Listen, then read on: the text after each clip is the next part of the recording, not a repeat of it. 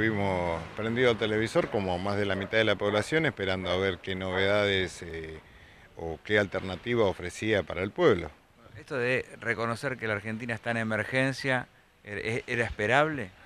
Y, y lo pensábamos, al verlas eh, de la manera que venía manejando, venía manejándose el señor presidente, lamentablemente nos damos cuenta que no estaba manejando un capitán de, de buque que era ni siquiera era para una canoa. Lamentablemente tenemos que reconocerlo como sociedad. Eh, adhiero porque era mi presidente, no por haberlo votado, pero no estaba gobernando eh, alguien peor que de la Rúa. Hoy lo demuestra, los hechos lo demuestran. Nosotros sabemos que hemos adquirido casi 150 mil millones de dólares, que no, a ver, me gustaría que alguien me diga, o nos diga, o le diga a la sociedad en qué lo gastaron era para mejorar, encontraron un país desendeudado y hoy estamos endeudados hasta los viñetos, no hasta los nietos.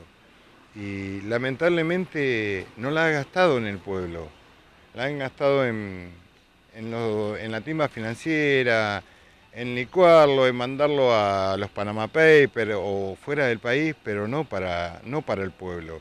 Y lamentablemente nuestra sociedad la mayoría ha elegido esto y, y, esto no nos, está, no nos va a dejar bien parado para el que venga, para, para toda la población. ¿Qué opina de esto de haber eh, bajado a Secretaría al Ministerio de Trabajo? Y a nosotros nos reduce, al Ministerio de Trabajo, al Ministerio de Salud, Ciencia y Tecnología, sobre todo salud y bueno, todas, las tres áreas son muy importantes.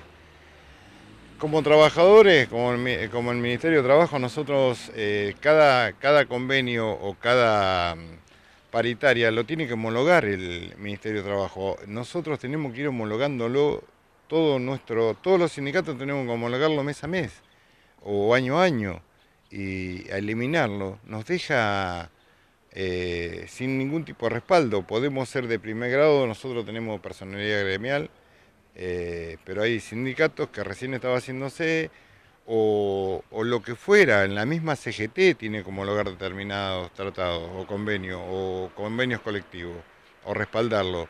Y hoy quedamos sin eso, estamos a la deriva, es como entre eso y quitarnos las leyes laborales es casi lo mismo.